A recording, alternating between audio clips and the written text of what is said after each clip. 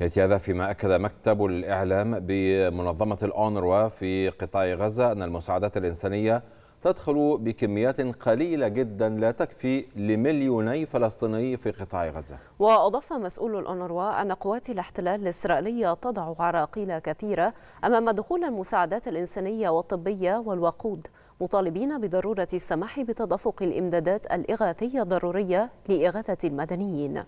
من ناحية أخرى أشارت المنظمة الأممية إلى أن نحو 600 ألف طالب حرموا من العام الدراسي لهذا العام نتيجة الحرب الإسرائيلية على القطاع. مبينة أن 280 مدرسة كانت تديرها الأونروا لم تعد تقدم خدمات تعليمية لأنها تحولت لمراكز إيواء للفلسطينيين.